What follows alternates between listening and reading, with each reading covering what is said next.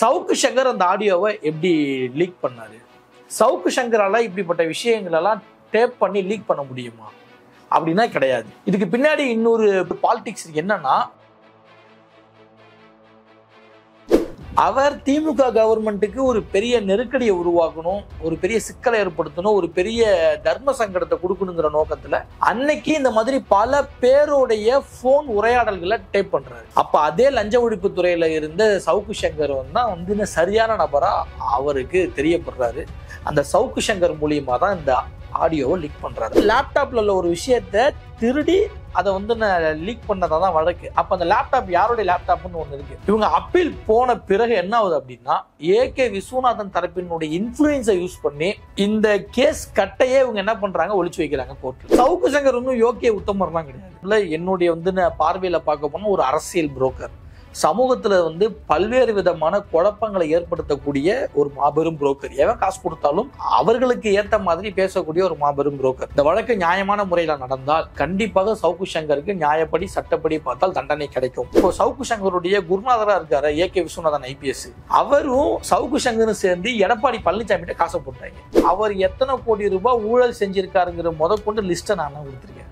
சவுக்கு சங்கருக்கும் அவருக்கும் இடையே இருந்த உரையாடல் கால் லிஸ்ட்டை நான் கொடுத்துருக்கேன். ஏ கே விஸ்வநாதன் மீது லஞ்ச ஒழிப்புத்துறையில இருந்து பல இடங்களில் கம்ப்ளைண்ட் கொடுத்துருக்கேன் நான். நான் கொடுத்துருக்கேன் என் பேரில் கொடுத்துருக்கேன் என் பேரில் கொடுத்துருக்கேன் எல்லா ஆவணங்களையும் ஒன்றா சேர்த்து கொடுத்துருக்கேன். இன்னி வரைக்கும் கொடுத்துருக்கேன். அவருடைய சப்போர்ட்டில் தான் சவுக்கு சங்கர் இன்னைக்கு இந்த அளவுக்கு நிற்கிறான் சவுக்கு சங்கர் இன்னைக்கு இந்த அளவுக்கு ஆடுறதுக்கு காரணம் அவர் தான் இதெல்லாம் டீட்டெயில் ரிப்போர்ட்டாக ஏ கே விஸ்வநாதனும் சவுக்கு சங்கரும் சேர்ந்து லூட்டிகள் இவங்க வந்து என்னென்னலாம் வேலைகள் பண்ணுனாங்க என்னென்ன அக- அக்கிரமங்களை செஞ்சாங்க எவ்வளவு சொத்துக்களை ஏ கே விஸ்வநாதன் வந்து இ- இதுவரை சேர்த்திருக்காரு. அப்படிங்கிறத மொத்த லிஸ்டா இன்னைக்கு சிஎம்மோட டேபிளுக்கு போயிருச்சு. அரண்சை நண்பர்களுக்கு வணக்கம். அரண்சை ஊடகம் சுயேட்சையாக இயங்குவதற்காகவே உருவாக்கப்பட்டது. நாம் செய்கிற வேலை உண்மையிலேயே மக்களுக்காக செய்கிறோம் என்பதை நீங்கள் நம்பினால் வாய்ப்பு இருந்தால் இந்த ரேசர் பே கியூஆர் கோடுக்குள்ளே நீங்கள் வந்து அதை ஸ்கேன் பண்ணி எங்களுக்கு உங்களால் இயன்றதை விருப்பம் இருந்தால் ஆதரவு தெரிவிக்கலாம். அரண்சை நேயர்களுக்கு வணக்கம். நான் மதநெறி விலகன் இன்றைய நமது சிறப்பு விருந்தினர் சத்யபிரபு அவர்கள் நிறைய விஷயங்கள் நம்ம அவர்கிட்ட விவாதிக்க இருக்கிறோம் அவரை வரவேற்கலாம். வணக்கம். வணக்கண்ணே சவுக்கு சங்கர் மீது ஒரு வழக்கு ரெண்டாயிரத்தி பதினேழுல கிட்டத்தட்ட அது முடிஞ்சு போச்சு அப்படின்னு சொன்ன ஒரு வழக்கு மீண்டும் தூசி தட்டி எடுக்கிறாங்க. அவரை கைது செய்யணும் அப்படிங்கிற ஒரு நோக்கம் இருப்பது போலவும் அவரை பழிவாங்குவதற்காக இந்த நடவடிக்கை இருக்குது என்பதாகவும் சவுக்கு சங்கர் வந்து ட்வீட் போட்டிருந்தாரு. ஒரு கருத்துரிமை இதனால பாதிக்கப்படுது சுதந்திரமா ஒருத்தர் கருத்து சொல்லிட்டு இருக்கிறாரு. அரசை விமர்சிக்கிறாருங்கிறதுனாலயே அவர் மேல ஒரு நடவடிக்கை எடுக்கிறாங்க என்பது போல ஒரு தோற்றம் உருவாகுது இல்லை எப்படி பார்க்கறீங்க? கருத்துரிமை வந்து பாதிக்கப்படுது. ஆமா அவர் அரசை விமர்சனம் பண்றாரு உதயநிதி விமர்சனம் பண்றாரு ஸ்டாலினை விமர்சனம் பண்றாரு. அதனால அவர் மேல பழி வாங்குறாங்க. இப்ப பழிவாங்கும் நடவடிக்கையா இருந்தால் நீங்க சொல்வது போல அந்த வழக்க மேல்முறையீடு வந்து இப்ப வந்து செய்யறதுக்கான முயற்சிகளை எடுத்திருந்தா நான் ஒத்துக்கிறேன். அரசின் பழிவாங்கும் நடவடிக்கை கூட நம்ம எடுத்துக்கலாம். ஆனால் ரெண்டாயிரத்தி பதினேழுல இருந்து இந்த வழக்கை வந்து மேல்முறையீடு பண்றதுக்காக சிபிஐசிடி முயற்சி பண்ணிட்டு இருக்கு அதற்குண்டான ஃபைலை வந்து ஹைகோர்ட்ல தாக்கலும் பண்ணிருச்சு. அஃபிடேவிட் ஹைகோர்ட்ல தாக்கலும் பண்ணிருச்சு. இதை சொல்றதுக்கு முன்னாடி இந்த வழக்கு என்ன நம்ம முதல்ல பார்க்கணும் ஏன் இந்த வழக்கு எதனால் அந்த வழக்கு அப்படின்னு நம்ம பார்க்கணும். இந்த வழக்கு வந்து ரெண்டாயிரத்தி எட்டுல டிஎம்கே கவர்மெண்ட் இருக்கும் பொழுது directorate of vigilance and anti corruption அதனுடைய டைரக்டரா இருக்கக்கூடிய எஸ்கே உபாத்யாயாவும் அன்னைக்கு சீஃப் செக்ரட்டரியா இருந்த எல்கே திரிபாதியும் பேசிக்கக்கூடிய ஆடியோவும் அன்னைக்கு திமுகவில் மந்திரியாக இருந்த பூங்கோதை ஆலடி அருணாவும் இன்னும் சில அரசு அதிகாரிகளும் பேசின ஆடியோ வந்து லீக் ஆனுச்சு. அன்னைக்கு இந்த விஷயம் வந்து பயங்கர பரபரப்பா பேசப்பட்டுச்சு. இன்னும் சொல்ல போனா நம்மளுடைய அரசியல் வட்டாரத்துல ஒரு பெரிய பூதாகரமா இருந்துச்சு பெரிய சர்ச்சையாச்சு. இது. ஆச்சு. அன்னைக்கு இந்த வழக்குல இந்த விஷயத்தில் வந்து யார் கைது செய்யப்பட்டாங்கன்னு உங்களுக்கு தெரியும். நீங்கள் சொல்லக்கூடிய அந்த சவுக்கு சங்கர் என்கிற புரோக்கர் சங்கர் தான் அன்னைக்கு வந்து இந்த வழக்கில் கைது செய்யப்படுறாரு. இந்த வழக்கில் வந்து கைது செய்யப்பட்ட சவுக்கு சங்கரும் அந்த லஞ்ச ஒழிப்பு துறையில் வந்து கிளர்க்காக வேலை பார்த்துட்டு இருந்தாரு. தன்னுடைய அப்பாவோட வேலையை வாங்கிக்கிட்டு அவர் அந்த லஞ்ச ஒழிப்பு துறையில் வந்து கிளர்க்காக வேலை பார்த்துட்டு இருந்தாரு. இதுதான் விஷயம். இப்போ நம்ம இன்னொரு விஷயத்த பார்க்கணும். சவுக்கு சங்கர் அந்த ஆடியோவை எப்படி லீக் பண்ணாரு? சவுக்கு சங்கரால இப்படிப்பட்ட விஷயங்கள் எல்லாம் டேப் பண்ணி லீக் பண்ண முடியுமா? அப்படின்னா கிடையாது. இதுக்கு பின்னாடி இன்னொரு இன்னொரு இன்னொரு பாலிடிக்ஸ் என்னன்னா ஏகே விஸ்வநாதன் ஐபிஎஸ் தெரியும் உங்களுக்கு. கேள்விப்பட்டிருக்கிறேன். ஆமா நான் முன்னாடி நம்ம வந்து சென்னை சிட்டிக்கு வந்து கமிஷனரா இருந்தாரு. இப்ப வந்து பாத்தீங்க அப்படின்னாக்க காவல்துறையினுடைய காவலர் வீட்டு வசதி கழகத்துல வந்து டிஜிபியா இருக்காரு தலைவரா இருக்காரு. அவர் வந்து ஏடிஎம்கேவினுடைய மிகப்பெரிய மிக தீவிரமான அபிமானி. அவர் திமுக கவர்மெண்ட்டுக்கு ஒரு பெரிய நெருக்கடியை உருவாக்கணும் ஒரு பெரிய சிக்கலை ஏற்படுத்தணும் ஒரு பெரிய தர்ம சங்கடத்தை கொடுக்கணுங்கிற நோக்கத்துல அன்னைக்கு இந்த மாதிரி பல பேருடைய ஃபோன் உரையாடல்களை டேப் பண்றாரு. அவர் தான் செய்யறாரு ஆமா ஏகே விஸ்வநாதன் ஐபிஎஸ் தான் டேப் பண்றாரு. அதை வந்து டேப் பண்ணவர் யாரோடத வந்து லீக் பண்ணலாம் அப்படின்னு சொல்லிட்டு அவங்க ஒரு பிளான் பண்ணி தான் இப்ப நான் வந்து அதாவது இதுக்கு முன்னாடி சொன்னவங்களுடைய அந்த ஃபோன் உரையாடல் டேப்பை வந்து லீக் பண்றதுக்கு அவர் யாரை வச்சு பண்ணலாம்னு சொல்லிட்டு ஒரு பிளான் பண்றாரு. அப்ப அதே லஞ்ச ஒழிப்பு துறையில் இருந்த சவுக்கு சங்கர் வந்து தான் வந்து சரியான நபரா அவருக்கு தெரியப்படுறாரு. அந்த சவுக்கு சங்கர் மூலியமா தான் இந்த ஆடியோவை லீக் பண்றாரு. அதிமுகவுக்காக திமுக கவர்மெண்ட் மீது ஒரு பெரிய கெட்டப்பெறை ஏற்படுத்தணும் ஒரு பெரிய நெருக்கடியை கொடுக்கணுங்கிறதுக்காக செய்யப்பட்ட விஷயம் அந்த விஷயம். இதுக்காக போடப்பட்ட வழக்கு தான் அந்த வழக்கு. இப்போ இந்த வழக்கில் வந்து யாராவது ஒருத்தங்க மேலே போய் வைக்கணும். இல்லைன்னா யாராவது ஒருத்தங்களை பகடகாயாக்கணும். அதாவது ஏ கே விஸ்வநாதன் பக்கம் இந்த வழக்கு திரும்பாமல் இருக்கும். அப்போ என்ன பண்ணுறாங்கன்னா தமிழ்நாடு லஞ்ச ஒழிப்பு லீகல் அட்வைஸராக இருக்கக்கூடிய விஜயராஜனுடைய லேப்டாப்பில் இருந்த அந்த ஃபோன் உரையாடல் டேப்பை வந்து ரெக்கார்டை சவுக்கு சங்கர் வந்து அங்கேருந்து திருடி கொண்டுட்டு போய் தான் வெளியே லீக் பண்ணதா கேஸ் வழக்கு தான். சொல்ல போனால் திருட்டு கேஸ்னு வச்சுக்கோங்களேன். இதுதான் வந்து இந்த வழக்கினுடைய சாராம்சம். இது ரெண்டாயிரத்தி எட்டுல இருந்து ரெண்டாயிரத்தி பதினேழு வரைக்கும் இந்த வழக்கு நடக்குது.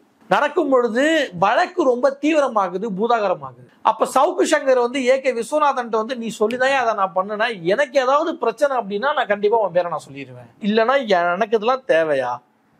ஏன்னா சவுக்கு சங்கர் இவ்வளவு பெரிய விஷயமாகும்னு நினைக்கல. ஏதோ சொல்லிட்டாங்க நமக்கு மேலதிகாரி சொல்லியிருக்கிறாரு செய்யறா அப்படி. அப்படி வச்சுக்கலாம். இல்ல நமக்கு இதுல ஒரு பெரிய நேம் கிடைக்கும். நமக்கு இதுல கொஞ்சம் வந்து பெரிய சில்லறை கிடைக்கும் கூட வந்து நினைச்சு கூட செஞ்சிருக்கலாம். அதனுடைய வீரியம் தெரியாம. ஆனா செஞ்ச பிறகு பிரச்சனை பெருசானதும் கேஸ் மொத்தமும் சவுக்கு சங்கரோடைய தலையில வைக்கப்படுது. அப்ப சவுக்கு சங்கர் தன்னை ஏவி விட்ட ஏகே விஸ்வநாதன் போய் நீ சொல்லிதான் அதெல்லாம் நான் செஞ்சேன். எனக்கு இப்ப பெரிய சிக்கலா இருக்கு. எனக்கு ஏதாவது ஒரு சிக்கல்லாம் உன்னை விட மாட்டேன் கண்டிப்பாக உன் பேர் நான் சொல்லுவேன் அப்படின்னு சொன்னதுனால ஏகே விஸ்வநாதன் வந்து அரசு தரப்பு சாட்சியாக இருக்கக்கூடிய இந்த தமிழ்நாடு லஞ்ச ஒழிப்பு துறையில வந்து லீகல் அட்வைசரா இருந்த விஜயராஜனை கூப்பிட்டு பேசுறாரு. விஜயராஜனை பிறர் சாட்சியா மாத்துறாரு. மொத்தம் நாற்பத்தஞ்சு சாட்சிகளை விசாரிச்சாங்க. அதுல வந்து பாத்தீங்கன்னா வந்து மேக்சிமம் சாட்சிகள் வந்து பிறர் சாட்சியா மாறிட்டாங்க. அதுல விஜயராஜன் வந்து ஜட்ஜி கிட்ட என்ன சொல்றாரு அப்படின்னா என்னுடைய ஆப்சண்ட்ல கூட இந்த லேப்டாப்ல இருந்து அது எடுத்திருக்க வாய்ப்பே இல்லை. ஏன்? எதனால? இந்த மாதிரி ஏகே விஸ்வநாதன் மாதிரியான ஆட்கள் வந்து அவங்க வந்து எப்படி பேசுனாங்க அவங்க என்ன தரன்னு சொன்னாங்க நமக்கு தெரியாது. ஆனா இவர்கள் எல்லாம் எடுத்த முயற்சியின் காரணமாக விஸ்வநாதன் வந்து பாத்தீங்க அப்படின்னா பிறர் சாட்சியா மாறுறாரு. சரி ஓகே. அவர் மாறி அவர் வந்து இந்த பிறர் சாட்சியா மாறினதுனாலதான் என் லேப்டாப்ல இருந்து போயிருக்க வாய்ப்பே இல்லை. அப்படி ஒரு விஷயம் நடக்கவே முடியாது. என்னுடைய ஆப்ஷன்ல கூட நடக்க முடியாது நடந்திருக்காது அப்படின்னு சொல்றாரு. இந்த சந்தேகத்தின் பலனை குற்றம் சாட்ட சவுக்கு சங்கர் கழிச்சு சவுக்கு சங்கரை ரெண்டாயிரத்தி பதினேழு பிப்ரவரி மாசம் இருபத்தி நாலாம் தேதி இங்க இருக்கக்கூடிய அடிஷ்னல் செஷன்ஸ் கோர்ட் அதாவது கூடுதல் இது கூடுதல் அமர்வு நீதிமன்றம் சென்னையில் இருக்கக்கூடிய கோர்ட் வந்து சவுக்கு சங்கர் வந்து விடுதலை பண்ணது. நம்ம ரிலீஸ் பண்ணிடுச்சுல முடிஞ்சு போச்சு இல்ல கேஸ் முடிஞ்சது இல்ல. முடிஞ்சு. ஓகே மேல் கோர்ட்டுக்கு போனாலும் இதான நடக்க போகுது. இல்ல அப்படி சொல்ல முடியாதுல்லண்ணா எத்தனையோ வழக்குகள் கீழ்கோர்ட்ல ஒரு மாதிரியான தீர்ப்பு வந்திருக்கும். அது திரும்ப மேல்கோர்ட்டுக்கு போகும் பொழுது அங்க என்ன வந்து நம்ம தரப்பு வந்து சாட்சியங்களை நாம வந்து கோர்ட்டு முன்னாடி வந்து கொண்டுட்டு வரும் பொழுது நிறைய வந்து வழக்குகள்ல தீர்ப்பு மாறி இருக்கு. கீழே வர தீர்ப்பு தான் மேல வரணும்னு வந்து நான் இது இல்லைல்ல அவசியம் இல்லைல்ல. இப்போ இந்த மாதிரி திருடப்பட்டு அந்த தகவல் வெளியாகி இருக்குது அப்படின்னு சொன்னால் அதுக்கு வந்து ஒரு தொழில்நுட்ப பிரிவு ஒரு அங்கீகரிக்கப்பட்ட ஒரு நிறுவனம். ஆமாம் இப்படி இப்படி நடந்துச்சு அப்படின்னு ஒரு சாட்சி சொல்லணும்ல. அதுக்கான ஒரு சிஸ்டமே இல்லை. நபர்கள் தான் சொல்றாங்க. ஏற்க முடியானது இல்லை அப்படின்னு சொல்லிட்டாங்கல்ல. ஆனா அதுதானே நீங்க சொல்ற தொழில்நுட்பம் சார்ந்தது ஓகே தான். ஆனா அது வழக்கு என்ன அப்படின்னா லேப்டாப்ல உள்ள ஒரு விஷயத்த திருடி அதை வந்து லீக் பண்ணதான் தான் வழக்கு. அப்ப அந்த லேப்டாப் யாருடைய லேப்டாப்னு ஒன்று இருக்கு.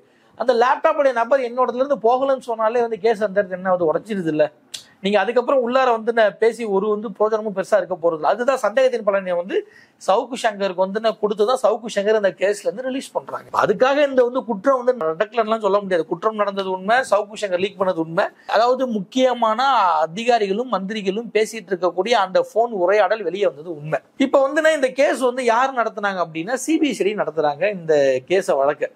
இப்போ வந்து ரெண்டாயிரத்தி பதினேழு பிப்ரவரி மாதம் இருபத்தி நாலாம் தேதி இந்த வழக்கில் வந்து தீர்ப்பு வந்து விடுதலைன்னு வருது. உடனடியாக அந்த ரெண்டாயிரத்தி பதினேழு ஜூன் மாசமே இவங்க வந்து ஹைகோர்ட்டுக்கு அப்பீல் போறாங்க. சிபிஎஸ்சில வந்து அப்பீல் போகுது. அப்பீல் போகுது. அப்பீல் போறது ஏன் அப்படின்னா உடனடியா இந்த வழக்கை அடுத்த கட்டத்துக்கு கொண்டு போகணும். இந்த தீர்ப்பை நம்ம ஏத்துக்க முடியாது. இதுக்கு நியாயமான வந்து தீர்ப்பு வரணும்னு சொல்லிட்டு இவங்க அப்பீல் போறாங்க. இவங்க அப்பீல் போன பிறகு என்ன ஆகுது அப்படின்னா ஏகே விஸ்வநாதன் தரப்பினுடைய இன்ஃபுளுன்ஸை யூஸ் பண்ணி இந்த கேஸ் கட்டையே இவங்க என்ன பண்றாங்க? ஒளிச்சு வைக்கிறாங்க கோர்ட்ல அப்படி ஒழிச்சு வைக்க முடியுமா? அதனாலதான் இந்த ஒரு வந்து ஏழு வருஷமா வந்து அப்பீலே பண்ண முடியல. கேஸ் கட்டு கிடைக்கலன்றதுனால அப்பீல் பண்ணலையா? ஆமாண்ணே. சிபிஎஸ்சிடி இன்னொரு விஷயம் என்ன பண்ணுதுன்னா நான் சொல்றது பொய்யா இருந்துச்சுன்னா சிபிஎஸ்சிடி வந்து பல முறை அந்த வழக்கினுடைய கேஸ் கட்ட சீக்கிரமா எடுத்துட்டு வர சொல்லுங்க. வழக்கு நடத்தணும்னு சொல்லி அரசு வழக்கறிஞருக்கு வந்து பல முறை லெட்டர் மூலமாகவும் வாதம் மூலமாகவும் கோரிக்கை வச்சிருக்காங்க. பல முறை வச்சிருக்காங்க. பல முறை கேட்டு பார்த்தும் கிடைக்கல. அவங்க சொல்ற பதில் தேடிட்டு இருக்கோம் ஒன்றும் கிடைக்கல. கோர்ட்ல உள்ள சொல்ற பதிலே தேடிட்டு இருக்கோம் ஒன்றும் கிடைக்கல. தேடிட்டு இருக்கோம் ஒன்றும் கிடைக்கல. தேடிட்டு இருக்கோம் கிடைக்கல. இந்த பதில் தான் போன மாசம் வரைக்கும் வந்துச்சு. சரி திடீர்னு எப்படி கிடைச்சது? ஆ கிட்டத்தட்ட வந்து இந்த ஒரு அஞ்சாறு வருஷமாவே சிபிசிஐடி இந்த வழக்கை வந்து மும்முரமா நடத்தி முடிக்கணுங்கிற பயங்கர முனைப்போட வந்து செயல்பட்டுட்டு இருந்தாங்க. இதன் சார்ந்து வந்து போன வருஷம் கூட ரெண்டு மூணு ஆர்டர்ஸ் அஃபிடவிட்ஸ்லாம் வந்துச்சு. இதன் சார்ந்து அரசு தரப்பு வழக்கறிஞர்களுக்கு இவங்க வந்து இதாவே கொடுத்தாங்க. அதாவது இன்னும் சொல்ல போனா சிபிசிடி அதாவது சிபிசிடி தரப்பு வந்து சட்டம் மூலமாக கோர்ட்டு மூலமாக பெரிய இது அழுத்தங்களை கொடுத்தாங்க. அதற்கப்புறம் கோர்ட்ல ஒரு வந்து நான் அதாவது அதுக்கப்புறம் கோர்ட்ல ஒரு உத்தரவு கூட வாங்கினாங்க. அதன் ரீதியாக தான் இந்த வழக்கு இவ்வளவு சீக்கிரமா அந்த ஃபைல் தேடப்பட்டு இன்னைக்கு இந்த மாசம் வந்து பாத்தீங்க அப்படின்னா அப்பீல் போக போறாங்க. சரி அப்பீல் போக போறாங்கங்கிற வரைக்கும் ஓகே தான். ஆனா இதை வச்சுக்கிட்டு சவுக்கு சங்கர் ஜெயிலுக்கு போயிடுவாரு. அப்படி அப்படி பேசுறது சரியா? இப்ப சவுக்கு சங்கர் வந்து ஜெயிலுக்கு கன்ஃபார்மா போயிருவாரான்னு நம்மளால சொல்ல முடியாது. ஏன்னா அதை வந்து நம்ம முடிவு பண்ண வேண்டியது வந்து கோர்ட்டு தான் முடிவு பண்ணணும். அதுதான் முடிவு பண்ணணும். ஆனால் அதுக்காக சவுக்கு சங்கர் ஒன்றும் யோக்கிய உத்தமர்லாம் கிடையாது. அதாவது என்னுடைய தரப்பில் என்னுடைய வந்து நான் பார்வையில் பார்க்க போனால் ஒரு அரசியல் புரோக்கர் சமூகத்தில் வந்து பல்வேறு விதமான குழப்பங்களை ஏற்படுத்தக்கூடிய ஒரு மாபெரும் புரோக்கர் எவன் காசு கொடுத்தாலும் அவர்களுக்கு ஏற்ற மாதிரி பேசக்கூடிய ஒரு மாபெரும் புரோக்கர் இது வந்து தமிழ்நாடு மக்களுக்கே தெரியும். இன்னைக்கு வந்து கடந்து அந்த அவரை வந்து ஃபாலோ பண்ற எல்லாத்துக்குமே இது தெரியும். இப்படிப்பட்ட ஒரு நபர் வந்து வெளியே இருக்கக்கூடாதுங்கிறது நம்மளுடைய நோக்கம் கோரிக்கை. இன்னொன்று இன்னி ரெண்டாயிரத்தி எட்டில் வந்து முக்கியமான ஆட்களுடைய ஃபோன் உரையாடலை வந்து டேப் பண்ணி லீக் பண்ணுறது எந்த விதத்திலையும் நியாயமாக ஏற்றுக்க முடியாது. அது சரியா தப்போ லீக் பண்ணுறது எந்த விதத்திலும் நியாயமாக ஏற்றுக்க முடியாது. இதன் சார்ந்து இப்போ வரைக்கும் பல்வேறு பல்வேறு அதிகாரிகள்கிட்ட பேரம் பேசுறது ஏற்றுக்க முடியாது. இந்த எல்லா செயலையும் செய்கிறது சவுக்கு சங்கர் தான். ஒருவேளை இந்த வழக்கு நியாயமான முறையில் நடந்தால் இப்போ நம்ம சொல்றது இந்த வழக்கு நியாயமான முறையில் நடக்கணும்னு சொல்றோம். இந்த வழக்கு நியாயமான முறையில் நடந்தால் கண்டிப்பாக சவுக்கு சங்கருக்கு நியாயப்படி சட்டப்படி பார்த்தால் தண்டனை கிடைக்கும் அப்படின்னு நான் சொல்றேன். மீண்டும் சிறைப்பறவையாக சவுக்கு சங்கர் ஆகலாம்னு நான் சொல்றேன். இதை வச்சுதான் கேள்விகள் வருது.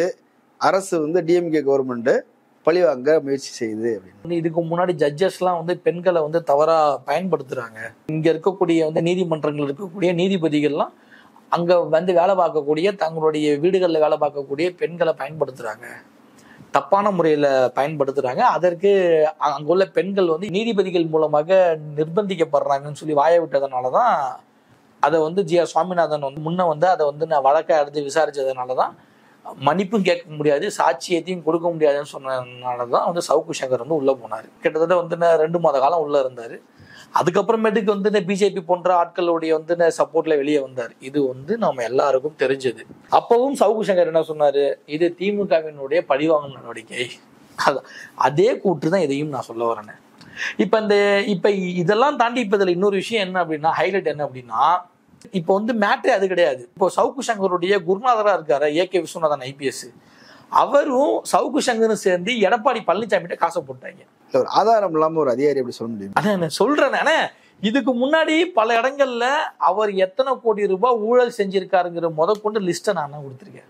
சவுக்கு சங்கருக்கும் அவருக்கும் இடையே இருந்த உரையாடல் கால் லிஸ்ட்டை நான் தான் ஏ கே விஸ்வநாதன் மீது லஞ்ச ஒழிப்புத்துறையில இருந்து பல இடங்கள்ல கம்ப்ளைண்ட் கொடுத்துருக்கேன் நான். நான் கொடுத்துருக்கேன் என் பேர்ல கொடுத்துருக்கேன் என் பேர்ல கொடுத்துருக்கேன் எல்லா ஆவணங்களையும் ஒன்றா சேர்த்து கொடுத்துருக்கேன். இன்னி வரைக்கும் கொடுத்துருக்கேன். இங்க இருந்து யூபிஎஸ்சி கவுன்சில் வரைக்கும் நான் அவர் மேல வந்து புகார் கொடுத்துருக்கேன். இதற்கான ஆவணங்கள் என்கிட்ட இருக்கு. அவர் எப்படிலாம் சம்பாரிச்சாருங்கிறதுக்கான ஆவணங்கள் என்கிட்ட இருக்கு. எப்படிலாம் சொத்து வாங்கினாங்கிறதுக்கான அனைத்து ஆவணங்களும் என்கிட்ட இருக்கு. இதெல்லாம் வச்சு தான் நம்ம இது வரைக்கும் வந்து தொடர்ந்து பேசிட்டு வரோம். அவருடைய சப்போர்ட்ல தான் சவுக்கு சங்கர் இன்னைக்கு இந்த அளவுக்கு நிக்கிறான். சவுக்கு சங்கர் இன்னைக்கு இந்த அளவுக்கு ஆடுறதுக்கு காரணம் அவர் தான் அதுல மாற்றுக்கிறதே கிடையாது. இப்போ வந்து ஏகே விஸ்வநாதனும் சவுக்கு சங்கரும் என்னன்னா எலெக்ஷன் டிஜியா நாங்க தான் வர போறோம் எப்படி? ஆனா இப்ப வந்து போன டிஜிபியா வர வேண்டியது அவரு தான் போன டிஜிபியா வர வேண்டியது ஏகே விஸ்வநாதன் தான். அதுல வந்து நம்மளை போன்றவங்களாம் அவர் மீது உள்ள பல வந்து குற்றங்களை வந்து நிறைய இடங்கள்ல வந்து அதாவது அதாவது கொண்டு சேர்க்க வேண்டிய இடங்கள்ல கொண்டு சேர்த்ததுனால அவரால் வந்து டிஜிபி ஆக முடியல. இப்ப அடுத்தது தேர்தல் நேரத்துல ஒருத்தரை வந்து டிஜியா வைக்கணும். அதாவது ஒருத்தர் வந்து டிஜியா வச்சுதான் இது செயல்படணும். இது வந்து வழக்கம். அதற்கு அவர் சார்ந்த அவர் சார்ந்த சமுதாயத்தை சேர்ந்த ஒரு வழ- வழக்கறிஞர் மூலியமா அவர் வந்து அநேகமாக காய் நகர்த்தி தேர்தல் நேர டிஜி ஆக இருந்தார்.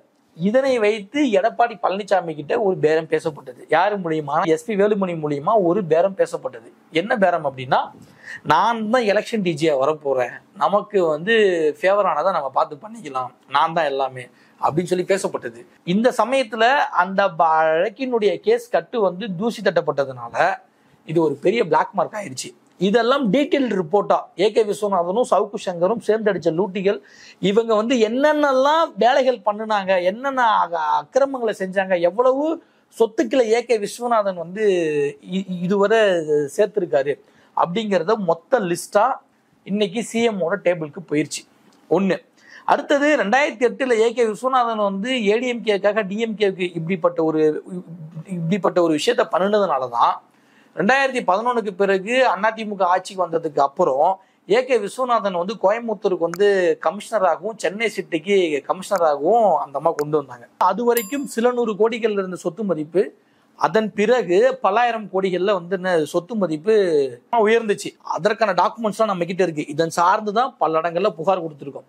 இப்போவும் நம்ம என்ன சொல்கிறோம்னா இப்படிப்பட்டவர்லாம் எலெக்ஷன் டிஜியாக வந்தால் ஸ்டேட் என்ன ஆகும் பார்த்துக்கோங்க.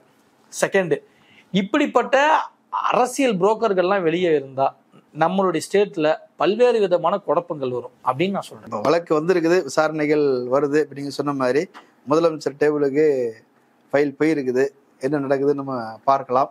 கலந்து கொண்டு கருத்துக்களை பகிர்ந்தமைக்கு நன்றி. ரொம்ப நன்றிங்க நேர்களை மற்றொரு விருந்தினரோடு மீண்டும் சந்திக்கலாம். நன்றி.